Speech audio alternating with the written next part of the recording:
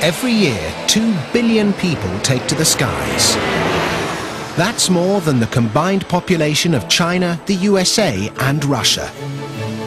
And they all have one thing in common. They're hungry and they need feeding. So how do they do it? 5 a.m. Dubai Airport. The overnight from London Heathrow has just finished unloading its passengers. In less than an hour, this plane has to be clean, fully stocked and ready to fly. It's time to go to work.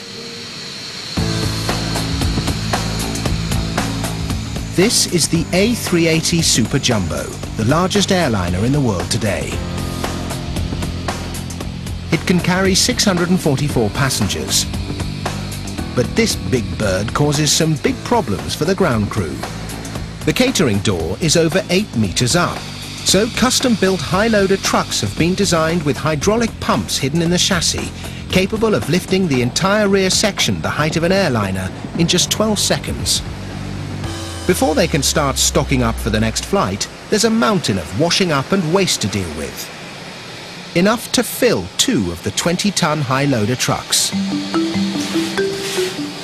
Within minutes, the truck's payload of aluminium catering carts is being unloaded at the largest airline kitchen in the world. The 21,000 square metre Emirates Flight Catering Facility. Over 150 flights unload 5,500 carts here every day. That means over 30 million trays full of washing up rolling through these doors every year. This kitchen is cleaning up the leftovers of a small city every 24 hours. First, the fully laden carts are stowed in stainless steel racks to begin their journey on an electrically powered monorail system.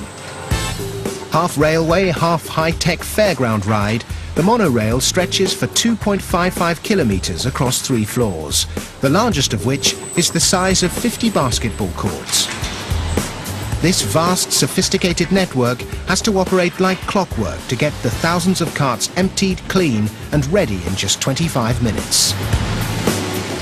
Every movement of every hanger is tracked and controlled from a central computerized monitoring room. From this nerve centre, the carts can be directed, just like trains on a railroad, to different destinations for storage, repair or reuse. All at the press of a button.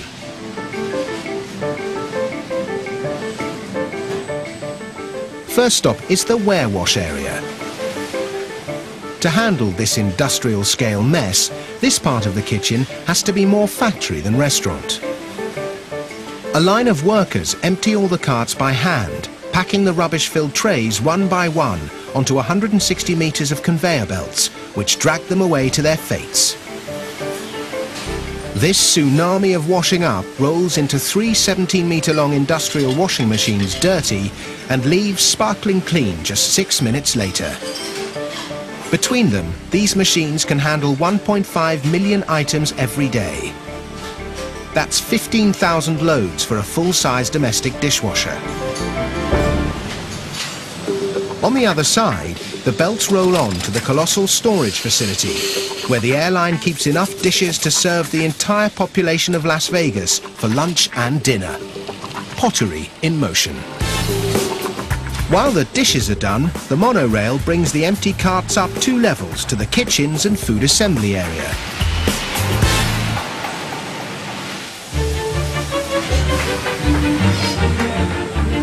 At 6 a.m., a hot, spicy curry might be hard to take, but in a facility that caters to flights across every time zone, breakfast, lunch and dinner are all served round the clock. With more than 100 flights leaving every day, this building alone has to produce over 20 million meals every year, so there's no time to stop. Everything is hand-prepared by qualified chefs. It's restaurant food cooked on an industrial scale. This kitchen gets through 2.2 million eggs and 50 tons of lobster meat per year. Menus are planned according to the destination of each flight. From curries for Karachi to satays for Singapore, every meal is crafted by a team of chefs drawn from 47 nations and trained in the cuisine of 26 different countries. everything that comes out of the kitchens is cooked, then taken by rolling conveyors through blast chillers.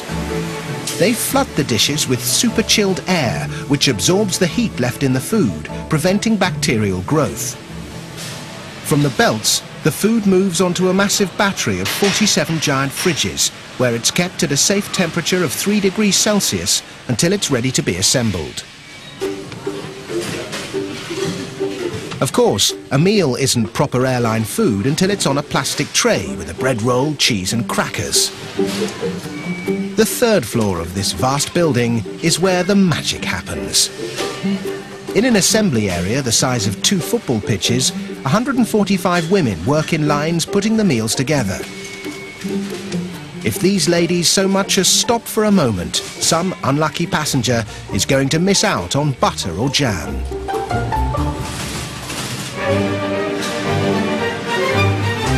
It can take 30 of these carts packed with food to feed the passengers on an A380 for just one meal. An hour after landing, flight EK201 is being loaded, ready for takeoff to New York. These super long-range aircraft can fly for up to 18 hours without refueling. That means a load of 122 carts for a single flight. With more than 150 flights a day, getting through 30 million meals a year, this record-breaking facility is going to have to keep on cooking.